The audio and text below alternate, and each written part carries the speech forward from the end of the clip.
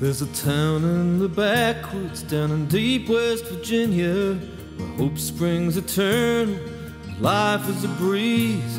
There's a girl who once lived there, happy ever after, spent all of her time among tall cedar trees.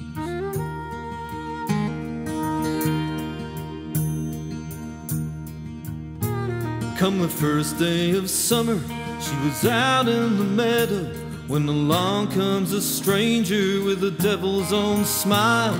She was too shy to speak when he asked for directions, but she answered his questions with paradise eyes. It was all in the moment of mild indiscretion that led to a lifetime of deep mystery of the girl who had vanished from a home in the backwoods. More questions than answers amongst the tall cedar trees.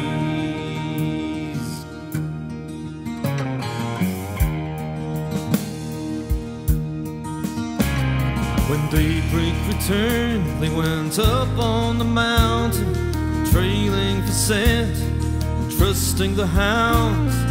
Twelve long hours later, in the mood dark as midnight, they were back down the mountain, no scent to be found.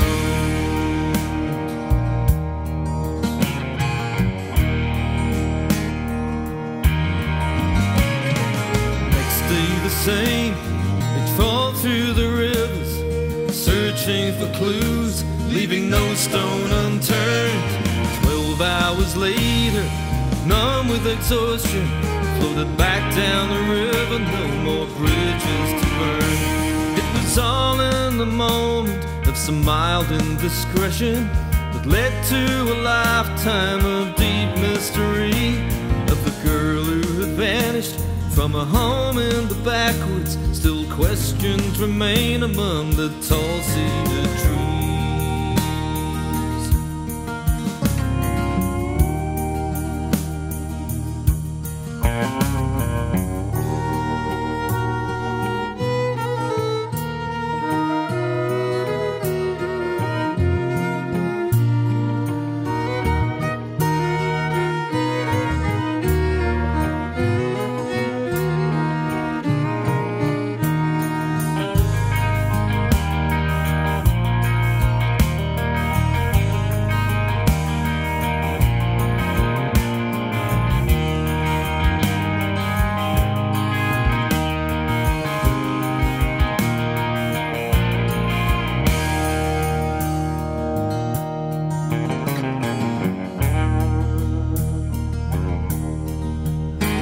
If you're ever in the backwoods down in deep West Virginia, or up on the mountain just catching the breeze, if you're out on the water fishing the river, if you hear voices ring among the tall cedar trees, just remember that a moment of mild indiscretion can lead to a lifetime of conjecture and lies.